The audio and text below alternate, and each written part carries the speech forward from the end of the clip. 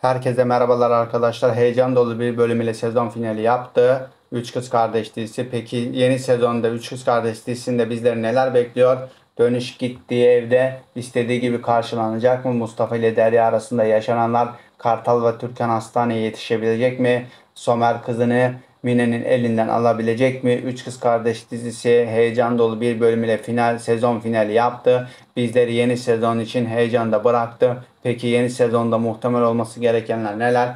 Bu videonun da analiz ettik arkadaşlar. Videomu sonuna kadar izleyerek detaylardan haberdar olabilirsiniz. Detayları kaçırmayın derim. Sizleri daha fazla merakta bırakmadan Üç Kız Kardeş dizisinde yeni sezonu bizleri neler bekliyor bunlara değinelim. Öncelikle dönüş gittiği evde istediği gibi karşılanmayacak ve geri de dönmek istemeyecektir. Bu da dönüşü zorlu bir hayat bekliyor diyebiliriz.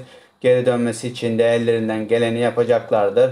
Gerçek annesi veya babası. Öte yandan Derya Mustafa'ya Mustafa arasında yaşananlar yeni sezona damga vuracaktır. Derya yeni sezonda hamilelik haberiyle şaşkına dönecektir.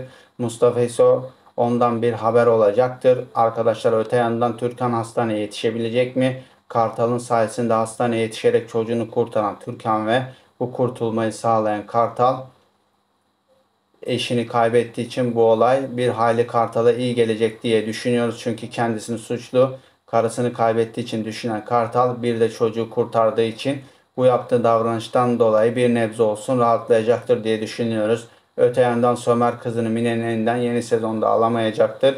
Yeni sezon bir hali kızını arayacaktır ve sonunda kavuşacaklardır merak etmeyin. Üç Kız Kardeş dizisi heyecan dolu bir bölüm ile ekranlarda bizleri kilitlemeyi başardı. Yeni sezonda devam edecek.